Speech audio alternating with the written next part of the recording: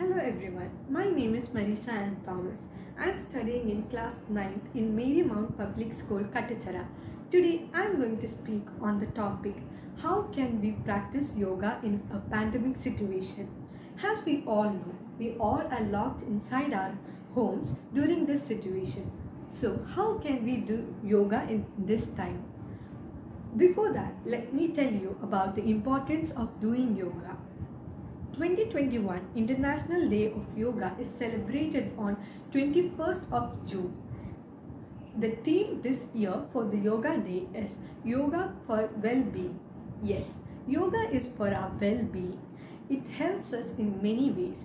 Practicing yoga gives us relaxation, it helps us to gain positivity and it helps us uh, to have a very flexible body also doing uh, yoga can be practiced in different forms.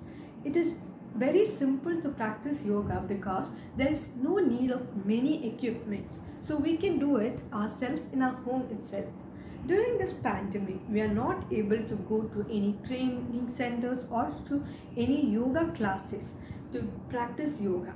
So but still it's not a big thing because there's a lot of applications coming up which helps us to do yoga. It gives us guidelines and support to do yoga in our homes itself.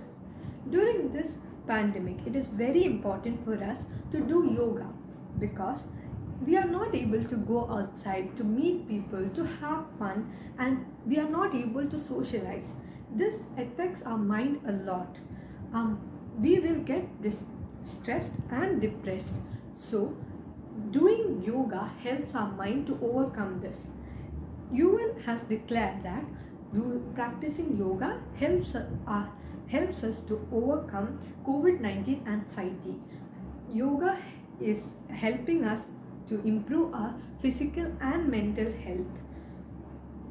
Do, starting our day by doing yoga helps our mind refresh and helps us to look forward towards the day in a very positive manner.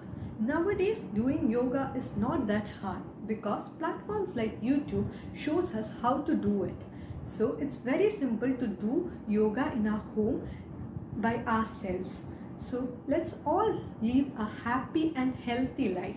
So thank you and have a nice day. Happy International Yoga Day.